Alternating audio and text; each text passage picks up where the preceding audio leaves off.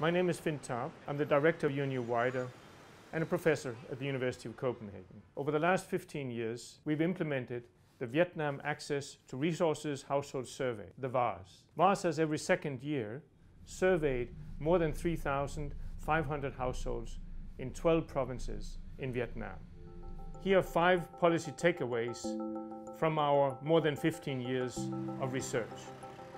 The first is it's very important for the future rural development of Vietnam to stay on target, to continue investing in physical, human, and social capital. The second area of focus is to maintain the drive towards increasing agricultural productivity and innovation. This means introducing modern technology, be that seeds, be that mechanization.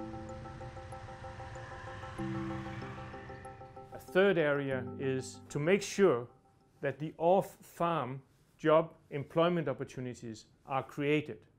Over time, the agriculture sector should grow in absolute terms, but it will fall relatively.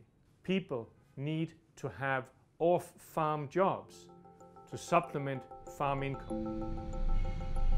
A fourth area is pay attention to gender balance and the minorities.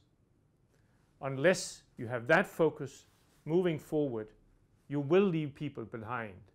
This is not in accordance with the Sustainable Development Goals.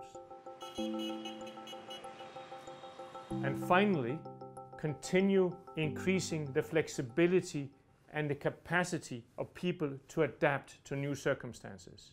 Climate change will mean that things will change. The better educated, the more flexible the economy is, the better you're going to weather the storm.